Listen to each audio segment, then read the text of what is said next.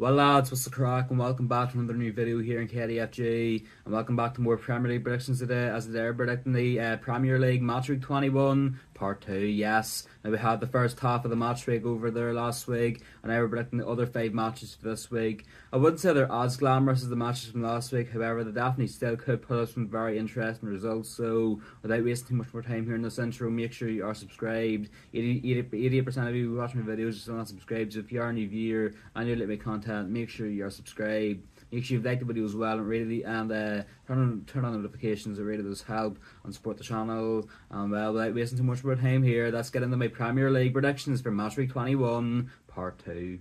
Kickstarting Match Week 21, Part Two off with the early kick-off on Saturday, and we've got a London derby here as Arsenal host Crystal Palace at the Emirates. An interesting one, this one, of course. Arsenal haven't played in two weeks their last game. They made a three defeats from three and a terrible 2 0 defeat at home to Liverpool, and that's them out of the FA Cup early doors. However, despite that bad run of form, they've had two weeks here to rest. Whereas Crystal Palace, like they played their replay of the FA Cup against Everton their midweek and they lost 1 0 up at Goodison Park, so that's them also out of the FA Cup as well. So Palace will be a lot less rested than Arsenal, a stronger Arsenal side, and Crystal Palace as well. So Crystal Palace may very well struggle, but they may very well challenge the Gunners as well in this one. It's going to be a very interesting one here at the Emirates. However, I would expect Arsenal to get back to winning ways after three defeats in the bounds, and they're going to get a much needed win here, and it's going to be a very good 2 1 victory here at home for the Gunners. I to say at half time it's 2 0 Arsenal. Both Arsenal goals will come in the first half. After about 15 minutes, I'm going to say Bukayo Saka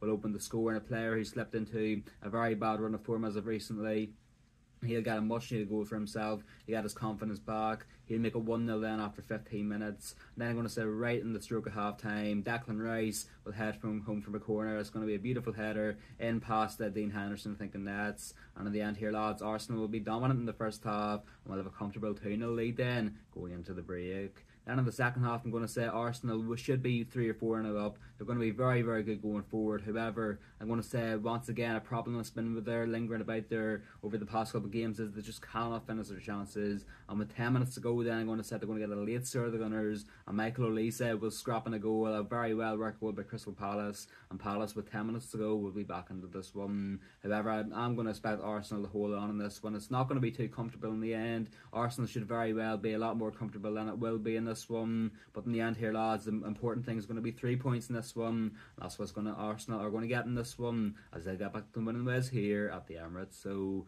Arsenal two, Crystal Palace one. As we've gone with here in this one, I think in the end here, Arsenal will be very good in the first half. They won't be able to finish their chances in the second half. Uh, Palace will give them a late scare. However, in the end here, Arsenal will seal all three points in a, uh, a seemingly unconvincing way here at home to Palace. The second game then on Saturday sees us go to Brentford as Brentford of course will be hosting Nottingham Forest now. An interesting one this one of course both these sides of course play midweek in their FA Cup replays. Brentford dumped out of the FA Cup on extra time 3-2 losing up at Wolves there at the Molineux so a poor defeat there for uh, Brentford whereas Nottingham Forest on the other side also went extra time but this time they did whatever the team who won 3-2 away at Blackpool so an important win there for Forest to get through in the FA Cup but both these sides will be equally um, as tired and as rested in this one, so that does very well make for a very interesting matchup in this one. But I'm going to say here, Brentford are going to be the team to win this one. I'm going to say in the end here, finishes Brentford 2, Nottingham Forest nil. I'm going to say it's 1 0 at the break, and both there'll be one goal in the first half, one goal in the second half for Brentford. It'll be equally divided out to two goals between the halves, and they're both going to come from the same player, and that same player is going to be. Ivan Toney. Yes, Ivan Toney is back for the Bees, and I'm going to say on his return to football after eight months away, he will score a brace in this one. One goal in the first half, one goal in the second half, and in the end here, lads, he will be the key player in this one, and he will seal all three points here for Brentford. What is going to be a very, very good performance overall from the Bees, and a poor one at that for Nottingham Forest. So, yeah, keeping it short and sweet and simple here, lads. Brentford 2, Nottingham Forest nil. That's what I've gone with here in this one. I think Ivan Toney is going to be excellent on his return to football. He'll score a brace in this one, but making a, giving Brentford a must needed 2 0 victory here, ending their losing and uh, ending their winless strides. And um, in the end here, lads, Brentford will, will be the better side. Forest will struggle, and a Toney Brace will get Brentford finally back to winning ways. Uh, now on to our Sunday games then. Firstly, starting out at Bramall Lane as Sheffield United are hosting West Ham United. An interesting one, this one, of course, because obviously, you know, West Ham will be coming into this one as the favourites, the, way better side leg, of course, and that is quite evident. However, Sheffield are going to be a lot more well rested. It's been two weeks since Sheffield's last game, since they travelled to Gillingham and beat them 4 0 there. So, a big win there for the Blades and a massive rest. Whereas West Ham, of course, were playing midweek away at Bristol City in their um, in their FA Cup replay and actually ended up losing 1 0 there away at Bristol. So, West Ham, you know, they'll be a lot less rested than Sheffield. And maybe the momentum mightn't be there for them, whereas Sheffield may have very well maintain their momentum they got away at Gillingham last time out. So it's going to be interesting to see what does go down here. I do think at the end, though, West Ham should be able to scrape the win. I think they're going to get back to winning ways after a poor defeat in the FA Cup. It's going to be a smash and grab 1 0 victory here for West Ham on this one. Want to with 10 minutes to go from the break, James Ward Prowse on the edge of the box will strike a superb uh, will strike a superb goal into the top corner. It's going to be an amazing strike in the end in this one. And James Ward Prowse's wonder goal will be all that separates both the sides here, as West Ham will get a much needed three points here away from home. So Sheffield nil, West Ham one. That's what I've gone with here in this one. I think in the end here, lads, West Ham will be the better side. I think Sheffield will give them a few scores throughout the game. They'll be unlucky not to score though the Blades. And in the end here, lads, a beautiful Ward Prowse strike will be all that separates both the sides, as David Moyes' men will get back on track with a big three points here on the road. The second match then on Sunday sees us go to Bournemouth as Bournemouth, of course, are hosting Liverpool. An interesting one, this one, of course. Both these sides, of course, obviously having two big breaks. Liverpool, of course, an amazing uh, 2 0 victory there away at Arsenal. And then Bournemouth came from 2 0 to behind to beat QPR 3 2 away from home. So both them sides, two big rests. They're through to the next round of the FA Cup. Both these sides have momentum on their sides as well. And we're also going to, also mustn't forget here that Mohamed Salah is absent from the Liverpool side. Now it's going to be a massive miss there for Liverpool. It's going to be interesting to see, you know, how will Liverpool fare without Mohamed Salah in their side.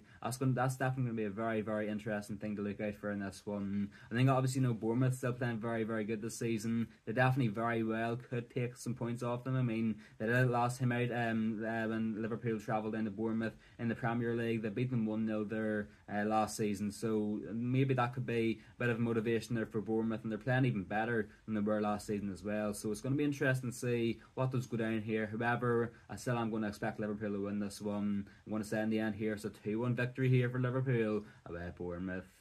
Want to say at half time here it's 1 0 to Liverpool. I think they'll be the well, much more uh, dominant and better side in the first half. And I'm going to say with about 5 or 10 minutes left before the break, I'm going to say Darwin Núñez, a player who had an amazing goal last time out away at Bournemouth in the Carabao Cup earlier on this season. I'm going to say then he will strike a beautiful strike in, in past, uh, I think, uh, who's, uh, who's keeper Neto. He'll strike a beautiful strike in past Neto once again in this one, and he'll give Liverpool a 1 0 lead then going into half time. Then in the second half, I'm going to say Liverpool will will have a lot of chances very, very early on. However, they will not be able to finish them. And with 20 minutes to go, then I'm going to say Bournemouth will strike back. Philip Billing, I think, is going to get the goal in this one. The super sub coming off the bench, and he will equalise then, making it 1 1 here with 20 minutes to go. However, I still will expect Liverpool to win this one. I think with less than five minutes left, they're going to leave it late in this one, but I do think Liverpool, with less than five minutes left, will strike a beautiful counter attack and a finish from Alexi Mac Allister, of all players, will make it 2 1 Liverpool in this one, guaranteeing them all three points here away from home. So Bournemouth 1, Liverpool 2. That's what I've gone with here in this one. I think in the end here, Liverpool will be the better side. Bournemouth will give them a bit of a scare. However, Liverpool will be able to strike back and get all three points here in the 10 minutes of the match. The final match then of match week 21, ending off this two week period of, of the match week 21, sees us go to Monday Night Football as Brighton are hosting Wolves. Now, over the past couple uh, games, you know, these two sides have met each other. You know, there has been a few goals in them, there has been a good amount of goals in them. I mean, look at earlier on the season, Brighton went to Molineux and thrashed Wolves 4 1, and last season, like Brighton, uh, at the, in this exact fixture, ended up beating Wolves 6 0 as well. So, there definitely has been a lot of goals recently in this fixture.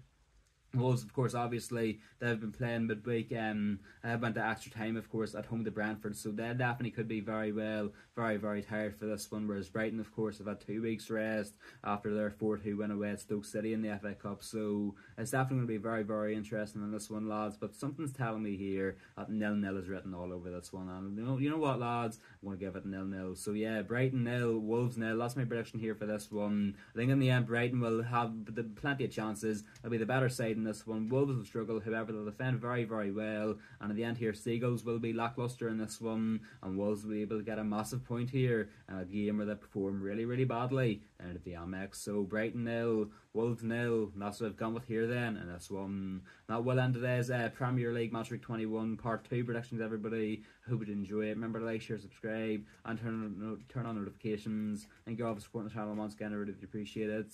I'll see you all once again in KDFG very, very soon.